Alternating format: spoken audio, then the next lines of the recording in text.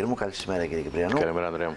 Ο, στη Λεμεσό είναι ο φίλτατος ο Άγγελος ο Βότσης, ο βουλευτής του Δίκο. Τον έχουμε το Βότσι μας.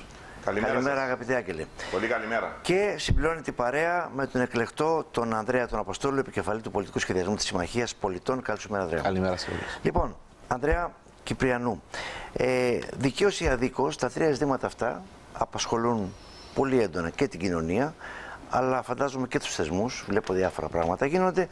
Ε, το ερώτημα το δικό μου είναι το εξής. Ε, φτάσαμε σήμερα μετά το χαμό ενός παιδιού να βγάλουμε στην επιφάνεια πράγματα που ίσως να ήταν χρόνια κατά το χαλί, δεν ξέρω αν είναι έτσι, και το χειρότερο για μένα είναι ότι με αφορμή αυτό το γεγονός ακούμε στα κανάλια διάφορες φοβερές ιστορίες, μικρές μεγάλες, αληθινές ψεύτικες, διωγγωμένες ή όχι, που μόνο ζημιά μπορούν να κάνουν στο όλο σύστημα. Είτε αυτό λέγεται παιδεία, είτε αυτό λέγεται υγεία, είτε αυτό λέγεται έγκλημα. Συμφωνείς μαζί μου; Απόλυτα. Απόλυτα. Χαίρομαι. Είμαστε ο λαός της υπερβολής. Έχουμε χάσει το μέτρο και επειδή ακριβώς είμαστε μια μικρή κοινωνία, Ανδρέα μου, πολλές φορές προσπαθούμε να χτίσουμε με πολύ συγκεκριμένον τρόπο. Επιχειρηματολογία. Αυτό το οποίο συμβαίνει τις τελευταίες ημέρες δεν τιμά την πολιτεία. Δεν τιμά ένα σύγχρονο πολιτισμένο ευρωπαϊκό κράτος. Δυστυχώς.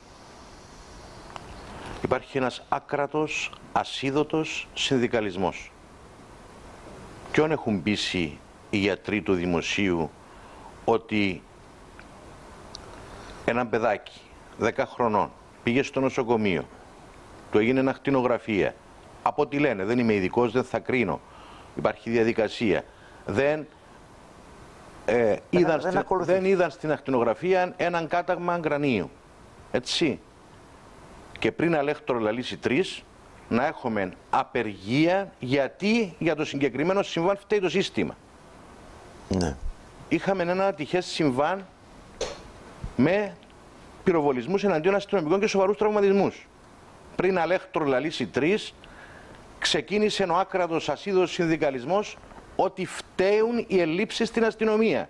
Τα γυ- τα γυ- τα γυλαίκα. Γυλαικοποιήσαμε έναν συμβάν και όταν είπα εγώ 6.500 αστυνομικούς και 6.500 να αφορούν, α- αφορούν αλεξίσφαιρα γυλαίκα. Αλλά δεν είναι το πρόβλημα. Γιατί αύριο, αν μπει κάποιος στον αστυνομικό σταθμό με έναν πυροβόλο και χτυπήσει κάποιον αστυνομικό, ο λόγος θα είναι ότι δεν φορεί γυλαίκων, ή ένας αστυνομικός της γειτονιάς, όταν θα πάει με το ποδήλατο, όπως τους είδαμε και τους θαυμάσαμε τελευταίως στα μέσα κοινωνικής δικτύωσης, θα φορεί και αυτός αλεξίσφαιρο γυλαίκο. Έπιασε και τη Ή, λέξη. ένα, ή έναν παιδάκι να ανέπευτε, ανέπευτε σε ταρτάν που είναι το ίδιο σκληρό όπως καλά γνωρίζει με το τσιμέντο και χτυπούσε το κεφάλι του, θα έπρεπε να αλλάξουμε το ταρτάν, να βάλουμε τι.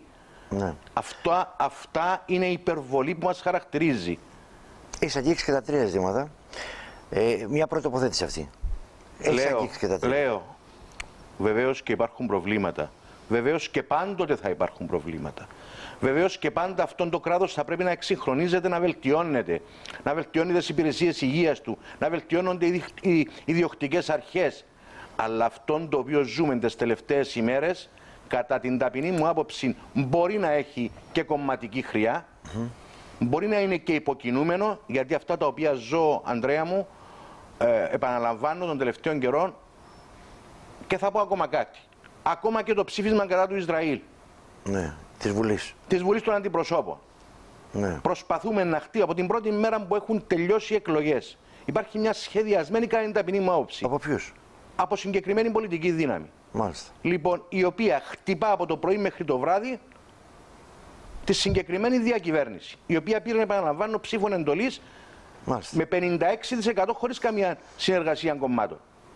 Ο συνδικαλισμός είναι για να βοηθά τα εργασιακά δικαιώματα των εργαζομένων. Άνω Ο τελεία. συνδικαλισμός σταματά, κατά Ναι. την ταπεινή μου άποψη, σταματά τη σωστή αξιολόγηση, τη δημιουργία ευέλικτου μικρού κράτους και εγώ θα το πω, γιατί τολμώ και το ξέρεις, ότι αυτός ο λαός πληρώνει άκρατες φορολογίες, η, η, η ανταγωνιστικότητα της κυπριακής οικονομίας διολυσθένει γιατί ακριβώς θέλουμε να συντηρούμε έναν υδροκέφαλο κράτος, αρνούμαστε την, οπτο- την οποιαδήποτε εκρίζωση του κατεστημένου και επειδή είδα και κάποια σχόλια τι είναι τέλος πάντων το σύστημα και το βαθύ κράτος, εγώ τολμώ να το πω το σύστημα και το βαθύ κράτος, γιατί ανεξάρτητα του ποιος κυβερνά, το ΑΚΕΛ, ο συναγερμός, το δίκο κλπ., το βαθύ κράτος είναι εκεί.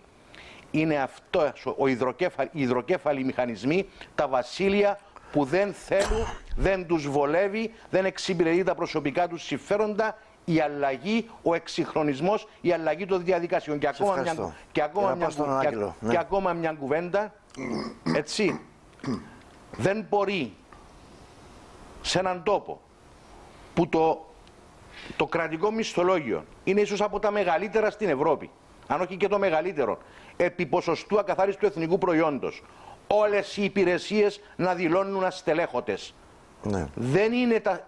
Δηλαδή, εσείς πιστεύετε ότι αν αύριο πάρουμε ένα ακόμα 100 γιατρού, που πήραμε 100 επιπλέον γιατρού στο δημόσιο, ή ακόμα χίλιους αστυνομικούς, ναι. ή ακόμα 30 μηχανικούς στο τμήμα πολεοδομίας και εγγύηση στα δημόσια έργα, θα βελτιωθεί η διαδικασία έκδοσης αδειών και θα λυθούν όλα τα προβλήματα; Μάλιστα. Το μεγαλύτερο πρόβλημα, Αντρέα μου, είναι η το ότι δεν επιτρέπεται να αλλάξουν οι διαδικασίες, να γίνουν ευέλικτες, να χτυπηθεί η γραφειοκρατία, γιατί με αυτόν τον τρόπο καταργούνται βασίλεια, καταργούνται δικαιώματα, καταργούνται αυξήσεις και προσαυξήσεις και θέσεις προαγωγής. Αυτό είναι το πρόβλημα, αυτό είναι το βαθύ κράτος στην Κύπρο και το ζω καθημερινά και Σε το ευχαριστώ. Ξέρω. Άγγελε Βότσι, ε, πέρα από τα ζητήματα που είπα εγώ, τα τρία αυτά κορυφαία θέματα της επικαιρότητας, ο Αντρέα ο Κυπριανού έβαλε και μια άλλη παράμετρο. Αυτή του μπορεί πίσω από όλα αυτά να γρήβονται σκοπιμότητες ή κάποιες πολιτικές. Ε, δεν ξέρω, ήθελα την άποψή σου. Θα ξεκινήσω με αυτό να πω ότι σίγουρα κάποιος μπορεί να εντοπίσει ότι ε, στο ΑΚΕΛ αναφέρεται ο Ανδρέας, δεν το είπε, αλλά στο ναι. ΑΚΕΛ αναφέρεται. Ναι. Και εγώ τουλάχιστον εντοπίζω ότι το ΑΚΕΛ ε, έχει σκληρύνει τη στάση έναντι της κυβέρνησης. Ναι. Θεωρώ ότι αυτή είναι η απόφαση ενός ε, μεγάλου κόμματος. Ο καθένας οφείλει να τη σέβεται. Και από εκεί και πέρα ε, αν η κυβέρνηση θα ήθελε όλες οι πολιτικές δυνάμεις να συμπεριφέρονται οι αντιπολιτευόμενες στην κυβέρνηση με πιο φιλικό τρόπο, ναι. θα πρέπει να βρει εκείνους τους τρόπους να πείσει την αντιπολίτευση ότι ε, υπάρχει μια αμοιβαία, θέλετε, κατανόηση στις θέσεις ε, που κατατίθενται για να έχει το καλύτερο δυνατό αποτέλεσμα. Δηλαδή είστε πιο χαλαροί στο δίκο όσον αφορά την αντιπολίτευση. Ε, το δικό πιστεύω ότι κινείται επίσης σίγουρα αντιπολιτευτικά. Ε, θεωρώ ότι το, τον DNA του δικοϊκού, αν θέλετε, της δικοϊκής συμπεριφοράς δεν είναι τόσο ναι. επιθετικό ε, στις διάφορες κυβερνήσεις, αν θέλετε, στις οποίες δεν συμμετέχει, όπως είναι τώρα ε, το ΑΚΕΛ. Ναι. Και... Πάμε στα τρία ζητήματα αυτά τα οποία θέλω εντάχει να μου και τα τρία να αγγίξουμε μαζί. Λοιπόν, Έτσι, υγεία, ζητήματα, παιδεία, έγκλημα. Θα βάλω την παράμετρο να τα προσεγγίσουμε ναι. σαν ένας απλός πολίτης που δεν ανήκει στην προνομιούχα τάξη ναι. των δημοσίων υπαλλήλων. Μάλιστα. Αυτή τη στιγμή βλέπουμε τις συντεχνίες των δημοσίων υπαλλήλων, ιδιαίτερα τις δύο, την ΠΟΕΘ και την Πασική, να ε, να πω, να βάλω ε, απλε, απαλές λέξεις, να εμπλέκονται, ναι. να μην πω προκαλούν, να εμπλέκονται ναι. σε μια ε, διελκυστίντα, σε έναν αγώνα box όπως το βλέπουμε με τα αντίστοιχα υπουργεία, τους αντίστοιχους υπουργούς. Ναι. Και ο κόσμος που δεν είναι δημόσιος υπάλληλος, που δεν είναι ο ευνοούμενος στο σύστημα, γιατί ξέρουμε στην Κύπρο όπως είναι τα πράγματα, οι δημόσιοι υπάλληλοι μας είναι σε καλύτερη μοίρα από τη συντριπτική πλειοψηφία, θα έλεγα, του ιδιωτικού τομέα. Βλέπουν λοιπόν. Όσον αφορά τις απολαυέ, εννοείς έτσι και τα προνόμια. Σε προνόμια Σαφέστατα. και απολαυέ. Σαφέστατα. Στη μονιμότητα, στη... Σαφέστατα. Τα, τα, όλα γνωστά και μην ναι. Τώρα, Δεν είναι κακό να το πούμε αυτό, έτσι είναι τα πράγματα. Πώς να το κάνουμε; Ε, Διαπιστώσεις κάνω που αν υπάρχει ένας που θα πει τώρα ότι ε, αυτά που λέει ο Άγγελος είναι ξέρω εγώ, παράλογα, να βγει να το πει και να μας πείσει και να. Είναι σε καλύτερη μοίρα από ό,τι μπορεί να σε. Για όνομα του Θεού. Στον δυτικό τομέα. Βλέπει λοιπόν ο μη προνομιούχος Κύπριος πολίτης που από τις στερήσεις του πληρώνει το κράτος για να μπορεί να έχει αυτό το σύστημα, βλέπει αυτή την εικόνα, αυτόν τον αγώνα box όπως το βλέπουμε καθημερινά. Θεωρώ ότι δεν τους βρίσκει δίκαιο. Δεν τους βρίσκει δίκαιο και οι δικές μου οι, οι μετρήσεις που κάνω όσο μπορώ να τις κάνω με τα μέσα τα οποία διαθέτουμε σήμερα ε, ε, που μας δίνουν την ευκαιρία να μετρούμε καθημερινά το τι λέει ο κόσμος, το τι νιώθει ο κόσμος και με τις επαφές που έχουμε με τον κόσμο δεν βρίσκει δίκαιο. Ναι. Ούτε στην πασική, που άκουσαν, άκουσαν αποκλείει, δεν, δεν θα δω τη Γενική Διευθύντρια. Ναι. Δεν κάθομαι σε διάλογο αν είναι παρούσα η Γενική Διευθύντρια. Μα για όνομα του Θεού. Ε, ναι. Είναι αυτά τα πράγματα σωστά. Εγώ δεν λέω ότι δεν υπήρξαν αστοχίες ενδεχομένως και από την εκτελεστική εξουσία. Όμως, αντί να κάτσουμε κάτω και να πούμε με αφορμή το τραγικό περιστατικό με το παιδάκι που το χάσαμε, ναι. Αυτό το σύστημα έχασε ένα παιδάκι του, 10 χρονών. Αντί να μας πεισμώσει αυτό και να πούμε το καλύτερο μνημόσυνο για αυτό το μωρό που χάθηκε, ναι. είναι να καταφέρουμε αυτό που μας λείπει, που όλοι λένε, όλοι, αν, είναι, αν είμαστε ειλικρινείς, ότι μας λείπει ένα γενικό σύστημα υγείας, γιατί τα νοσηλευτήρια μας ξεπέρασαν τους, τις, ε, έχουν ε, ξεπεράσει, αν θέλετε, τα όρια τους. Ο ιδιωτικός τομέας έχει τα δικά του ψηλά κόστα, κόστη και λέμε όλοι ότι χρειαζόμαστε ένα γεσί να ενώσουμε τους τομείς. Θα είναι καθολικό, θα συμμετέχουν όλοι, θα έχουν τη δυνατότητα όλοι να απολαμβάνουν. Αυτοί που βγάζουν περισσότερα θα προσφέρουν περισσότερα, αυτοί που βγάζουν λιγότερα θα προσφέρουν λιγότερα. Μάλιστα. Αλλά όλοι θα έχουμε την ίδια περίθαψη, είτε είναι φτωχός ο κόσμος, είτε πλούσιος, είτε είναι. Ήταν μια αναγκαιότητα, ψηφίστηκαν νομοσχέδια και. Αυτό το πράγμα να μας πεισμώσει και το καλύτερο μνημόσυνο στο παιδάκι να είναι αυτό. Ξεκίνησε ο αγώνας box. Οι απεργίες, για μένα το είπα και δημόσια το παραλαμβάνω, απαράδεκτη απεργία. Απαράδεκτη απεργία. Ναι. Λοιπόν, και τώρα φτάσαμε να μην μπορεί να γίνει διάλογος γιατί λέει υπάρχουν ε, στάσεις. Αντίθετα, μόνο με διάλογο αυτή τη στιγμή ναι. μπορεί να σταματήσει ο αγώνας box που βλέπω. Στην Μάλιστα. παιδεία, το ίδιο πράγμα. Και προσπαθώ να δω τι έκανε ο κύριος Χαμπιάουρης, ο υπουργός Παιδείας. Ναι. Είπε χθες, αντιλαμβάνομαι, ότι υπάρχουν ε, ανίκανοι και προβληματικοί εκπαιδευτικοί. Μάλιστα. Είπε κάτι καινούριο είπε κάτι καινούριο. Ναι. Σίγουρα, σίγουρα το από το, το, το λέει ο Υπουργός, αυτός είναι ο νέος Υπουργός, αλλά υπάρχει γενικότερη ευθύνη από την εκτελεστική εξουσία να, βρεθεί, να βρει το σύστημα εκείνους τους τρόπους, αυτούς που όντως υπάρχουν που έχουν ψυχολογικά προβλήματα και εφόσον τους ξέρουν αυτοί που λένε ότι τους ξέρουν, να βρουν τρόπο να τους παραμερίσουν, αν δεν μπορούν να λύσουν τα προβλήματά τους, από το σύστημα.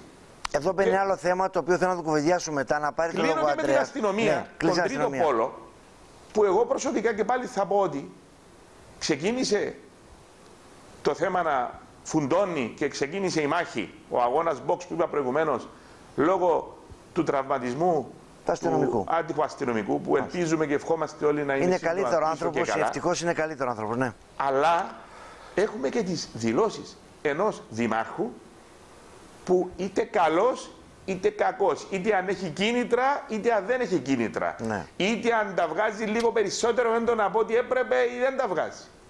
Είναι ένα πολιτικό πρόσωπο που βγαίνει με παρησία και με κίνδυνο της δικής του ζωής, να το πούμε γι' αυτό, ναι. Και λέει πράγματα που είτε όσοι τα ξέρουν δεν τα έλεγαν τόσο καιρό, Μάλιστα. είτε αυτοί που δεν τα ξέρουν οφείλουν να τα διαχειριστούν. Μάλιστα. Και τι βλέπουμε αυτές τις μέρες; Δεκάδες συλλήψεις από την αστυνομία μας. Δεκάδες συλλήψεις που προκαλούν το απλό ερώτημα. Γιατί δεν γινόταν Καλά πριν. τόσο καιρό αυτοί οι άνθρωποι που έχουν συλληφθεί τώρα κυκλοφορούσαν, υπήρχαν πληροφορίες και δεν, διο, δεν τις διαχειριστήκαμε τόσα χρόνια σαν πολιτεία. Μάλιστα. Και το άλλο ερώτημα είναι, όλες αυτές οι συλλήψεις φαίνεται ότι συλλαμβάνονται και μέχρι το βράδυ απολύονται.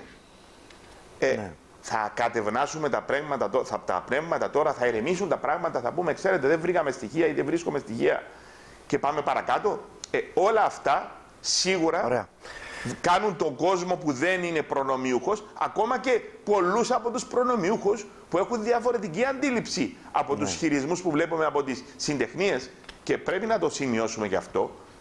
Νιώθω ότι δεν υπάρχει απόλυτη συμφωνία ή μεγάλη συμφωνία πολλών γιατρών, πολλών αστυνομικών, πολλών καθηγητών με τον αγώνα box που βλέπουμε τώρα. Άρα κλείνω και λέω. Ναι.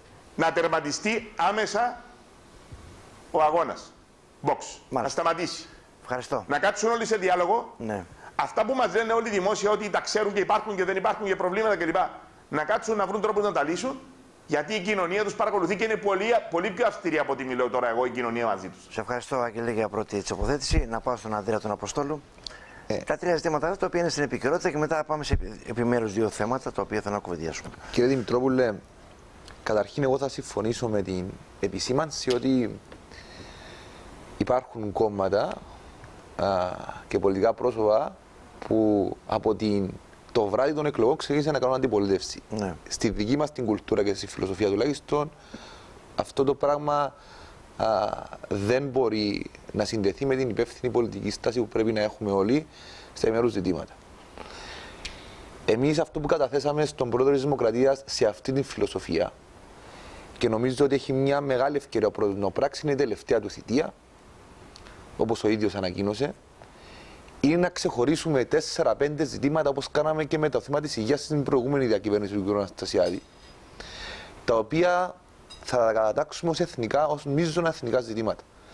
Τα οποία θα πρέπει όλοι να συνεισφέρουμε έτσι ώστε να επιληθούν.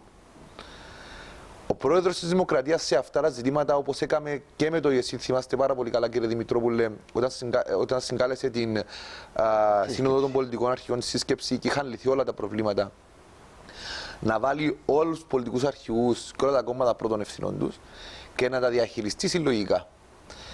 Και όσοι δεν συμμετέχουν σε αυτή την εθνική προσπάθεια, επιτέλους να αναδιοργανώσουμε το κράτος μας και να σπάσουμε αυτά τα κατεστημένα που ανάφερε ο κ. Κυπριανού, να είναι υπόλογοι των ευθυνών τους απέναντι στον λαό. Και σε αυτά τα ζητήματα μπορεί να είναι και η υγεία και η παιδεία και η εγκληματικότητα. Από εκεί και πέρα, πριν να πάω στα επιμέρους ζητήματα, υπάρχει ένα μείζον θέμα το οποίο αφορά την αξιολόγηση των δημοσίων λειτουργών. Ναι. Ήθελα μετά το θέσουμε θέμα αξιολόγησης, ε, σαν θέμα, σαν ξεχωριστό κεφάλαιο, αλλά αφού το θίγεις να το ξεκινήσουμε. Ναι. Στην Κύπρο η δημόσια μιλάμε για εκπαιδευτικούς, έτσι. Κάτι το οποίο θέλουν όλοι. Μιλούμε Γιατί για... δεν γίνεται όμως. Μιλούμε για όλους τους δημόσιους λειτουργούς. Μάλιστα. Πολύ καλά γνωρίζει και ο κ. Βότση και ο κ. Κυπριανού ότι το 90% των δημόσιων λειτουργών αξιολογούνται με άριστα. 97 κατά 97. Ναι. Αξιολογούνται με άριστα. Εξαίρετη. Αυτό τι πρόβλημα δημιουργεί. Δημιουργεί πρόβλημα γιατί οι ανεπαρκείς που υπάρχουν ανεπαρκείς και στον ιδιωτικό και στον δημόσιο τομέα, παντού υπάρχουν δεν εντοπίζονται και να απομακρυνθούν από, όλες τις, από όλη τη δημόσια υπηρεσία, αλλά κυρίως οι εξαίρετοι, γιατί υπάρχουν εξαίρετοι λειτουργοί στη δημόσια υπηρεσία και εξαίρετοι γιατροί και εξαίρετοι δάσκαλοι, και εμείς περάσαμε από τα δημόσια σχολεία και από τα δημόσια νοσηλευτήρια και γνωρίζουμε, δεν έχουν το κίνητρο έτσι ώστε να εργαστούν για να προαχθούν και να πάρουν αυτά που τους αξίζουν. Γιατί έχουμε και ένα αναχρονιστικό σύστημα προαγωγών που δεν επιβραβεύει τον εξαίρετο, τον καλό. Επιβραβεύει αυτόν που έχει τα περισσότερα χρόνια υπηρεσίας. Αυτά τα πράγματα πρέπει να αλλάξουν και έχουμε καταθέσει συγκεκριμένες προτάσεις. Θα σας πω μόνο δύο. Δεν μπορούμε πλέον να αξιολογούμε με βάση την κλίμακα καλός, πολύ καλός, εξαίρετος, μέτριος. Θα πρέπει η βαθμολογία πλέον να είναι από το 1 μέχρι το 100 για να μην δικαιολογείται ο αξιολογητής να βαθμολογεί όλους τους με, το, με τον ίδιο τρόπο. Δεν μπορεί παράδειγμα ένας αξιολογητής να πείσει ότι όλοι είναι στο 95 Να έχει μεγαλύτερο εύρος αξιολόγησης. Να έχει μεγαλύτερο εύρος αξιολόγησης. Θα πρέπει το σύστημα προαγωγών, και αυτό είναι ένα πολύ μεγάλο ζήτημα που πρέπει να ανοίξει, να μεταφερθεί από την λογική της σημερινή στην λογική α, της αξιολόγησης των δημοσίων λειτουργών και βάσει της αξιολόγησης να παίρνουν τις προογέ και θα πρέπει να συζητήσουμε και το θέμα της μονιμότητας. Να σας πω για τον λόγο που πρέπει να συζητήσουμε. Ναι, πετε μου για να πάμε δεν είμαι, δεν είμαι υπέρ στο να καταργηθεί πλήρως η μονιμότητα γιατί μπορεί να ζούμε άλλες εποχές με τις αλλαγές των κυβερνήσεων. Ο καθένας να κρίνει και να φέρνει τους δικούς του. Αλλά το σημερινό σύστημα που υπάρχει δεν μπορεί να συνεχίσει. Για να σας πω τον λόγο, πολύ απλό παράδειγμα. Αν ο Γενικός Διευθυντής του Νοσοκομείου της Λάρνακας ή το οποιοδήποτε νοσοκομείο, για να μην πάρουμε ότι έγινε το περιστατικό, αξιολογήσει βάσει της εμπειρίας του και της διοικητικής του θέσης την οποία έχει. Ένα γιατρό, ένα νοσηλευτή, ένα οποιοδήποτε α, υπηρεσιακό, ότι είναι ανεπαρκής στη δουλειά του. μπορεί να τον διώξει από το νοσοκομείο ή θα πρέπει να έχουμε ένα περιστατικό να ξεκινήσουν έρευνες και μετά να κάνουμε α, επισημάνσεις επί ενός τραγικού περιστατικού για να απομακρυνθεί ένας ναι. ανεπαρκής δημόσιος Δεν μπορεί να το διώξει σίγουρα. Δεν μπορεί. Και ολοκληρώστε. Και ολοκληρώνω με το εξής. Επειδή εμείς θεωρούμε ότι πραγματικά υπάρχει, υπάρχουν ανεπάρκειες στα δημόσια μας νοσηλευτήρια και είναι καλό να κάνουμε τις επισημάνσεις γιατί και εγώ προσωπικά έχω χαρακτηρίσει απαράδεκτη την απεργία της Πασική την προηγούμενη εβδομάδα. Τα προβλήματα όμως δεν μπορούμε να τα κρύβουμε κάτω από το χαλί. Θα πρέπει ο πρόεδρος της Δημοκρατίας να συγκαλέσει μια έκτακτη σύσκεψη για το θέμα της υγείας. Mm. Τα δημόσια μας νοσηλευτήρια τα οποία επαναλαμβάνουν έχουν εξαίρετους λειτουργούς θα πρέπει και να στερεχωθούν αλλά και να αποκτήσουν τον απαραίτητο εξοπλισμό. Πολύ απλά θα σας πω ότι στο νοσοκομείο της Λάρνακας γιατί το ξέρω είναι από την πόλη μου και έτυχε να είναι και το περιστατικό εκεί, δεν υπάρχει μαρά. Μπορεί ένα αυτονομημένο νοσοκομείο να ανταγωνιστεί στον ιδιωτικό, τον ιδιωτικό τομέα αύριο στο Γενικό Σχέδιο Υγείας με ανεπάρκεια εξοπλισμού. Όχι, αυτά δεν θα. Υποτίθεται ανεπάρκεια... αυτά θα έχουν λυθεί τα θέματα. Έτσι. Μάλιστα. Επειδή αυτά τα θέματα θα πρέπει να λυθούν Μάλιστα. την λοιπόν. επόμενη τριετία τουλάχιστον, θεωρώ ότι είναι α, η χρονική στιγμή. Εμείς είμαστε έτοιμοι και υπεύθυνοι χωρίς αντιπολιτευτική στάση και χωρίς λαϊκισμό. Να, να μπούμε σε αυτή τη συζήτηση, να βοηθήσουμε και τα νοσοκομεία μας, κύριε Δημητρόπουλε, και κλείνω να μπουν α, στη νέα εποχή της αυτονομίας και του Γενικού Σχεδίου Υγείας, έτσι όπως όλοι τα οραματιζόμαστε. Μάλιστα. Λοιπόν, θέλω να είμαστε πολύ σύντομοι. Για να κάνουμε δύο-τρεις βόλτες ακόμα, να μην το φάμε όλο τον χρόνο. Κύριε Δημητρόπουλε, ε, ακούω το φίλο και μου. αξιολόγηση θέλω. Ακούω το φίλο μου τον Αντρέα τον Αποστόλου και είναι αισιόδοξα τα μηνύματα τα οποία λέει, αλλά σας λέω ότι εγώ δεν μπορεί να είμαι αισιόδοξος γιατί δεν υπάρχει πολιτική βούληση. Γιατί για κάποιους ο αναπνευστήρας τους είναι τα κομματικά τους στελέχη στη δημόσια υπηρεσία και στους δημοκρατικούς οργανισμούς. Εκεί στηρίζονται, εκεί βασίζονται, από αυτές τις βάσεις κάνουν τους προεκλογικούς τους και θα πρέπει επιτέλους να πούμε τα πράγματα με το όνομά τους. Είναι αισιόδοξο μόνο το ότι έχουμε ξεκινήσει να βάλουμε τα θέματα της συμπεριφοράς των δημοσίων υπαλλήλων στο δημόσιο διάλογο. Μέχρι πρόσφατα δεν έμπαινε ούτε στο δημόσιο διάλογο. Γιατί ο καθένας φοβόταν ότι λέγοντας τις αλήθειες θα συγκρουστεί με συγκεκριμένους μεγάλους όγκου ψηφοφόρων με, ε, ε, με αδυναμία να επανεκλεγεί ή να χάσει το κόμμα του ή οτιδήποτε άλλο. Αλλά ήρθε η ώρα της αλήθειας. Ο Νίκος Αναστασιάδης, και δεν προασπίζομαι την κυβέρνηση αυτή τη στιγμή, δεν είναι αυτός ο στόχος μου. Έχει κάνει κάλεσμα πάρα πολύ συγκεκριμένο. Και ξέρετε γιατί; Γιατί είπε κύριοι, δεν θα επαναδιεκδικήσω προεδρική εκλογή. Ελάτε κοντά να δούμε πώς λύνουμε τα θεμελιακά προβλήματα που έχει αυτός ο τόπος. Ε, δεν βρίσκει ανταπόκριση. Δεν βρίσκει ανταπόκριση. Όταν κάποια κόμματα για να συντηρήσουν παλαιοκομματικές τους συμπεριφορές θεωρώντας ότι θα κρατήσουν και θα ξανασυσπυρώσουν τους ψηφοφόρους τους την ώρα που το Ισραήλ είναι ο πιο κεντρικός μας σύμμαχος φέρνουν, φέρνουν ψήφισμα στη Βουλή των Αντιπροσώπων για να εγκλωβίσουν, αν θέλετε, και τους υπολείπους, οι οποίοι έχουν καλές σχέσεις με τους Παλαιστινίους. Ναι. Είναι όμως η ώρα η Βουλή διαψηφισμάτων να ασκεί εξωτερική πολιτική. Αυτό είναι για το καλό του τόπου. Μάλιστα. Το είπατε και προηγουμένως αυτό. Λοιπόν, ε, Μια κουβέντα το, θέλω το, για την αξιολόγηση. Λοιπόν, πάμε το σύστημα αξιολόγησης. Μα τι να πούμε, κύριε Δημητρόπουλε, ποια αξιολόγηση; Εδώ όλες οι μεταρρυθμίσεις που έχουμε φέρει ενώπιον της Βουλής των Αντιπροσώπων συγκρούονται ή αν θέλετε σταματούν πάνω στο βαθύ κράτος που σας έχω περιγράψει. Καλά, τώρα δεν είναι όμως και οι μεταρρυθμίσεις αυτές που φαίνεται στη Βουλή. Ε, μία από τις μεταρρυθμίσεις, κύριε Δημητρόπουλο, μία από τις μεταρρυθμίσεις, κύριε Δημητρόπουλο ναι. δεν ήταν η αξιολόγηση των δημοσίων υπαλλήλων. Ναι. Και ξέρετε, αυτό το οποίο είπε ο Αντρέα, το είπε και ο Άγγελος, έχει πάρα πολύ μεγάλο δίκαιο. Στη δημόσια υπηρεσία και στους ημικρατικούς οργανισμούς και παντού υπάρχουν ικανότατοι. Αλλά υπάρχουν και μέτροι, υπάρχουν και ανίκανοι. Όταν η συντεχνία προστατεύει κυρίως τους ανίκανους. Γιατί αυτό είναι που κάνει. Ναι. Προσπαθώντας να μην πληγεί κανένας, προστατεύει κυρίως τους ανίκανους. Μέσα από την αδυναμία διαδικασιών που να σταματά τη μονιμότητα, αν θέλετε, μέσα από την αντίδραση στην, στη σωστή αξιολόγηση των δημοσίων υπαλλήλων με βάση τις ικανότητες τους και το έργο τους, εξού και έχουν, έχει καταψηφιστεί η τροποποίηση που προσπάθησε ο Υπουργός σε σχέση με την αξιολόγηση των δημοσίων υπαλλήλων. Έχει σταματήσει, αν θέλετε, δεν έχει επιτευχθεί ακόμα και αυτή η μετακίνηση των δημοσίων υπαλλήλων. Που λέγαμε, που λέγαμε να φύγει από μια υπηρεσία που υπάρχουν λιγότερες ανάγκες και να πάει σε μια άλλη υπηρεσία. Και το μόνο μας, η σημαία μας καθημερινά, μιλώ για τους ε, συντεχνιακούς, αυτούς που ασκούν ασίδωτος συνδικαλισμό, όχι τους καλούς συντεχνιακούς, είναι ότι ξέρετε, υπάρχει έλλειψη προσωπικού, υπάρχει έλλειψη προσωπικού. Ο, ο μόνιμος εποδός που καμία απολύτω σχέση δεν έχει με την πραγματικότητα. Και ένα παράδειγμα να δώσω για να μου πείτε εσείς. Ναι. Ενιαία αρχή αδειοδότησης. Τι σημαίνει; Σημαίνει ότι ο πολίτης, ο επιχειρηματίας, ο επενδυτής θα μπορεί να βγάλει την άδεια να χτίσει το σπίτι της κόρης του, να κάνει την ανάπτυξη, να κάνει την επένδυση του σε μικρό χρονικό διάστημα.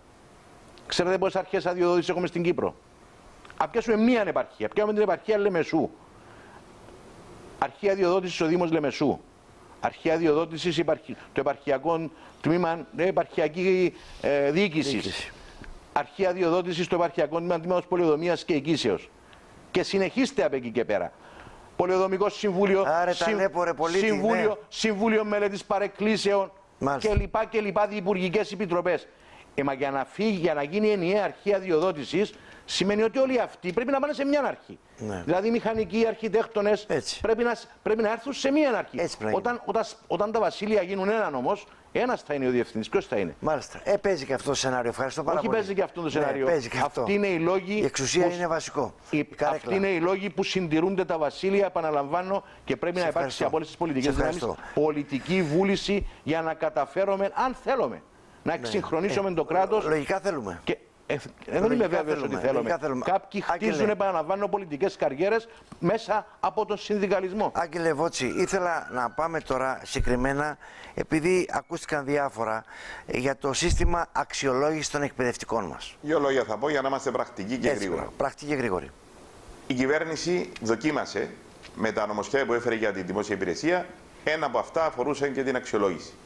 Και εκεί σκόνταψε και στην νομική υπηρεσία, η οποία είχε γνωμάτευση ότι ο τρόπος με τον οποίο εισηγήθηκε το κυβερνητικό νομοσχέδιο να αντιμετωπίζει αυτό το πρόβλημα, να διατηρούνται δηλαδή ποσοστό, ότι ένα ποσοστό πρέπει να είναι εξαίρετη, ένα άλλο ποσοστό πρέπει να είναι λίγα ναι. ένα άλλο ποσοστό πρέπει, ώστε να τους αναγκάσει τους, αυτούς που αξιολογούν να σπάσουν αυτή την διακύμαση και να μην είναι όλοι εξαίρετοι, ε, σκόνταψε ότι δεν μπορεί να υποχρεώσει τον άλλον να βάλει συγκεκριμένα ποσοστά πρέπει να γίνει, έπρεπε να γίνει μια ε, αναδιαμόρφωση. Έγινε μια προσπάθεια.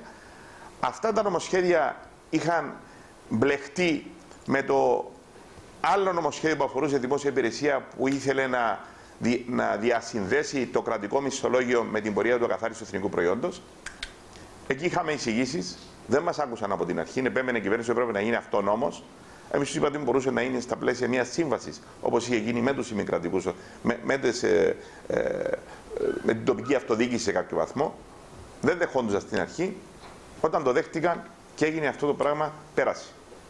Πρέπει και η κυβέρνηση να κάνει κάποιες κινήσεις για να επαναφέρει τα νομοσχέδια αυτά τα οποία μπορούν να περάσουν σε ό,τι με αφορά για να είμαστε πρακτικοί, επαναλαμβάνω. Ναι, ναι. Εγώ θεωρώ ότι είναι μονόδρομος ότι πρέπει να ε, διορθωθεί το σύστημα αξιολόγησης των δημοσίων υπαλλήλων. Η κυβέρνηση πρέπει να πάρει την πρωτοβουλία και ο καθένας να τεθεί πρώτον ευθυνών. Δεν ξέρεις κάτι, δεν είναι δυνατόν ένας κακός υπάλληλος να είναι στην υπηρεσία και απλά να του αλλάζουμε πόστο Μιλάω για εκπαιδευτικούς. Είναι σε ένα σχολείο κακός υπάλληλο. Μην το συζητούμε.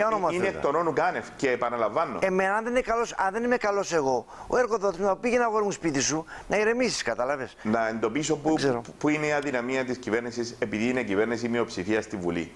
Η κυβέρνηση τι κάνει; Φέρνει ένα νομοσχέδιο στις επιτροπές, ξεκινάει ναι. η συζήτησή του, παίρνει εκεί την πρώτη γεύση.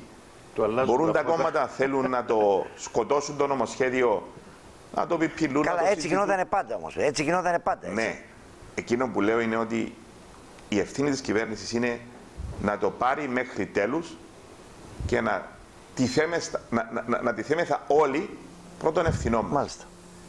είχαμε αυτό το θέμα με το Υφυπουργείο Τουρισμού. Ναι. Το λέω γιατί βάζω το καπέλο του Πρόεδρου της Επιτροπής Εμπορίου, ναι. Μηχανίας, Τουρισμού Μάλιστα. και Ενέργειας. Αυτό το νομοσχέδιο, στην προσπάθεια η κυβέρνηση να βρει, να βρει πλειοψηφίες, ενώ όλοι λέγανε ότι ε, είμαστε θετικοί με τη δημιουργία αυτού του Υφυπουργείου, πήγε να αλλάξει πράγματα, να τα ξαναλλάξει τα πράγματα και χάσαμε πόσο πολύτιμο χρόνο την ώρα που η τουριστική βιομηχανία που πάει καλά άρχισε να. Να έχει προβλήματα. Έχει προβλήματα λόγω των εξελίξεων με τις γύρω χώρες, τη Ρωσία κλπ. Έπρεπε να είχαμε το Υφυπουργείο Τουρισμού. Η κυβέρνηση τώρα μετά από αθέλεις και δικές μας παρενέσεις ήρθε και τοποθετήθηκε και λέει αυτό θέλω. Την επόμενη Παρασκευή που θα υπάρχει ολομέλεια θα λήξει αυτό το θέμα και είμαι πολύ ε, ε, ελπίζω θα έχουμε Υπουργείο Τουρισμού. Ότι θα ρίξει με θετικό τρόπο Μάλιστα. είτε με το Α είτε με το Β σενάριο. Έφερες ένα παράδειγμα που είναι πολύ έτσι κατατοπιστικό για μας. Πρέπει η κυβέρνηση από τη βολιδοσκόπηση Μάλιστα. να επιμένει όπως πρέπει να κάνει και σας λέω, εάν το κάνει αυτό, να φέρει ξανά τα νομοσχέδια για την αξιολόγηση των δημοσίων υπαλλήλων, των εκπαιδευτικών και όλων των, το, του ευρύτερου δημόσιου τομέα, υπάρχουν πολλοί σε όλα τα κόμματα που θα κάνουμε όλη τη μάχη για να πείσουμε και τις κοινοβουλευτικές μας ομάδες. Θεωρώ ότι στο δικό μου το κόμμα δεν θα είναι δύσκολη δουλειά. Ναι. Να... Διότι οι βουλευτές που συμμετέχουν σε αυτές τις επιτροπέ. Άρα το δικό σου κόμμα και το κυβερνό κόμμα φτάνει. για να πάρουμε την Μάλιστα. έγκριση και την. Ευχαριστώ κύριε Βότσι. Πιστεύω ότι εδώ είναι το κλειδί Μάλιστα. και πρέπει να προχωρήσει η κυβέρνηση να τολμήσει και ο καθένας πλέον να, να πάρει την ευθύνη του. Κύριε, δεν θέλω να γίνει αυτό το πράγμα, να βγω στη Βουλή να το πω και Σωστό. να πάρω το σύν το πλήν μου. Σωστό. Θέλω να γίνει, να πάρω το ψηφίσω να τελειώνω. Σωστό. Με αυτόν τον τρόπο μπορώ να προχωρήσω. Σωστό. Αντρέα, ε, πολύ πολύ σύντομα αξιολόγηση εκπαιδευτικών. Γιατί είναι το θέμα που απασχολεί τώρα και τη Βουλή και την κοινωνία και προηγουμένως για το Φέδωνα που είπε ο Αντρέα, ο Βότσης, ο Άγγελος, θα είναι στην Επιτροπή Νομικών της Βουλής για να καταθέσει όλα αυτά που ξέρει και να δούμε αν είναι παραμύθια ή αν στέκουν οι καταγγελίες του. Πάμε τώρα στο αξιολόγηση εκπαιδευτικών. Ε, νομίζω συμφωνούμε ότι ε, είναι καλύτερο και για μας, για τα παιδιά μας που χρησιμοποιούν τα, τα σχολεία μας αλλά και εδώ πρέπει να σταθούμε και νομίζω ότι η πλειοψηφία των γιατρών, των δασκάλων και των υπολείπων λειτουργών του δημοσίου τομέα που επαναλαμβάνω έχουμε εξαίρετους α, στη δημόσια μας υπηρεσία συμφωνούν ναι. στο η αξιολόγηση να μην συνεχιστεί με τον τρόπο το οποίο υπάρχει. Η πρόταση μας είναι ενώπιον του Πρόεδρου της Δημοκρατίας. Είναι από τις προτάσεις που μας ζήτησε με εκλογικά, αν θυμάστε πολύ καλά, να το καταθέσουμε. Νομίζω ότι α, αντιμετωπίζεται θετικά. Όχι, τι, για τους εκπαιδευτικούς μιλάς. Για το θέμα που αφορά την αξιολόγηση γενικά στον δημόσιο τομέα. Εγώ μιλάω για εκπαιδευτικούς. Είναι και είναι λίγο διαφορετικό το θέμα. Είναι και εκπαιδευτική δημόσια λειτουργία, ναι. κύριε Δημητρόπουλο. Ναι, ναι, αλλά είναι, είναι, έχει άλλο είναι, χαρακτήρα. Είναι το τρίπτυχο το οποίο έχουμε βάλει κάτω. Αξιολόγηση με κλίμακα από 1 μέχρι 10. Ναι αλλαγή του συστήματος προαγωγών έτσι ώστε να γίνει πιο αξιοκρατικό και να καταργηθεί αυτό που έχουμε σήμερα και να μπει επιτέλους η αστική προσωπική ευθύνη για όλους τους λειτουργούς του κράτους οι οποίοι διαχειρίζονται δημόσια ευθύνη. Και να σας πω και κάτι άλλο. Επειδή πολύ σωστά είπε ο κ. Κυπριανού ότι υπάρχουν κατεστημένα στην Κύπρο και φέουδα. Εμείς είμαστε έντιμοι να συγκρουστούμε μαζί τους. Γιατί εγώ τουλάχιστον, μιλώ προσωπικά, τα παιδιά μου τα παίρνω στα δημόσια νοσηλευτήρια και θα τα παίρνω και στα δημόσια σχολεία. Αυτή είναι η πρόθεσή μου. Και επειδή είμαι πρώτα υπόλογος στα παιδιά μου και στα παιδιά του κόσμου και σε καμία συντεχνία. Ναι. Και είναι πάνω από όλα τα παιδιά μας από την οποιαδήποτε συντεχνία. Γι' αυτό ξεκάθαρα όσες κινήσεις γίνουν προς τη σωστή κατεύθυνση, για σωστή αξιολόγηση, για α, σωστή και αξιοκρατική μέθοδο προαγωγών, με τελικό σκοπό τα παιδιά του Κύπρου φορολογούμενου να έχουν την καλύτερη ποιότητα παιδείας, την καλύτερη ποιότητα υγείας και ο Κύπρος φορολογούμενος να έχει ένα κράτος που να τον εξυπηρετεί και να μην τον καθυστερεί, όσες κινήσεις γίνουν προς αυτήν την κατεύθυνση, εμάς θα μας βρουν σήμερα. Μάλιστα, ευχαριστώ. Λοιπόν, θέλω να κάνουμε ένα τελευταίο γύρο ε, από ένα λεπτό ο καθένας. ε, για τα εργαλεία της αστυνομίας που έχει στα χέρια της, για την πάταξη του εγκλήματος και αφορά τη Βουλή το θέμα αυτό, ε, το νομοσχέδιο που θα έρθει, δεν ξέρω αν έρθει κοντά σας, για τις παρακολουθήσεις τηλεφωνικών συνδιαλέξεων. Αν είναι απαραίτητο και αυτό ή αν έχει τα εργαλεία και δεν κάνει καλά τη δουλειά της ή αν δεν τη βοηθάμε εμείς. Απλά ένα σχόλιο, Πολύ σύντομα, ένα σχόλιο στα προηγούμενα, Αντρέα μου. Να πω απλά ότι το παράδειγμα που ανέφερε ο Άγγελος βεβαίως και είναι ένα από τα καλά παραδείγματα, αλλά είναι και ένα εύκολο θέμα η δημιουργία ενός νέου υφυπουργείου που δεν αγγίζει καταστάσεις. Εδώ αγγίζει ο λίγο τον ΚΟΤ και κάναμε δύο χρόνια για να το περάσουμε. Mm. Φανταστείτε να πάμε στην παιδεία, στην υγεία, ε, στην αστυνομία και, και ούτω καθεξής.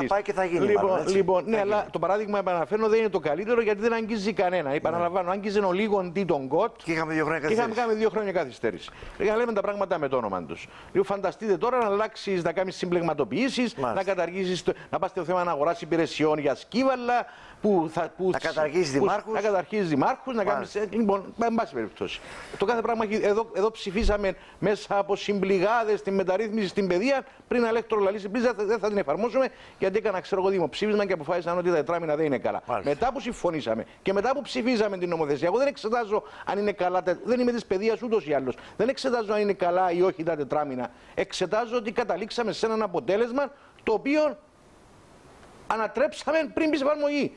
Αστυνομία. Λοιπόν, αστυνομία. Πολύ, πολύ σύντομα. Λοιπόν, πρώτο, θέλω να πω δύο, δύο θετικά, γιατί ξέρετε αυτή η ισοπαίδευση δεν μου αρέσει. Ναι. Αυτή η κοινωνία λειτουργεί, έχει τα προβλήματα της, αλλά λειτουργεί. Μπορούμε να την πάρουμε μπροστά.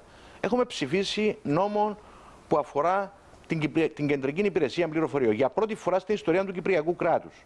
Και έχουμε δώσει εργαλεία που δεν έχουν ξαναδοθεί στην κεντρική υπηρεσία πληροφοριών. Και για παρακολουθήσεις και για οτιδήποτε άλλο. Γιατί αυτός ο τόπος πρέπει επιτέλους να έχει μυστικές υπηρεσίες, σωστές μυστικές υπηρεσίες. Και θεσμοθετήσαμε την κεντρική υπηρεσία πληροφοριών. Μάλιστα. Ψηφίστηκε το νομοσχέδιο πρόσφατα. Έχουμε ψηφίσει επίσης νομοσχέδιο πρόσφατα για τη δημιουργία σώματος αδιάφθορος στην αστυνομία.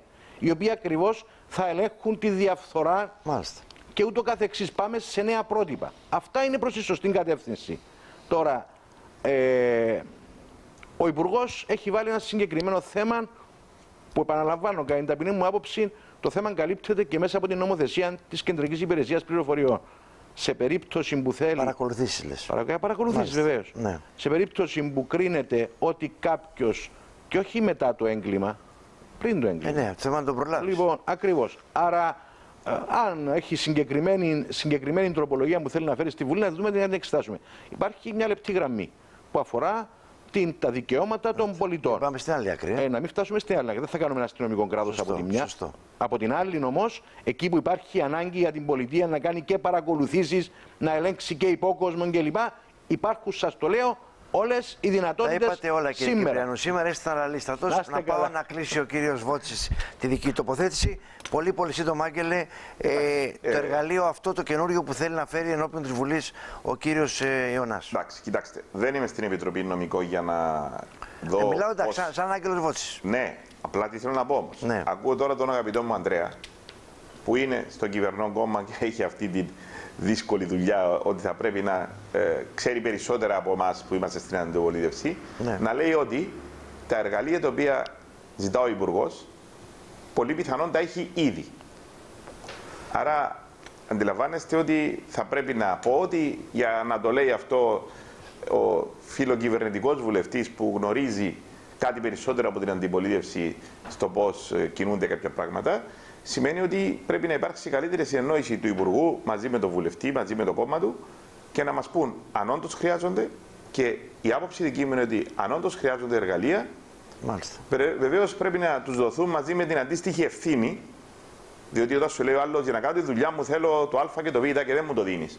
Όταν του το δώσεις και δεν κάνει καλά τη δουλειά του, τότε θα είναι υπόλογος ε, σε πολύ μεγαλύτερες ευθύνες. Την ίδια ώρα, την ίδια ώρα, αν μέσα ενός εργαλείου που θα δοθεί.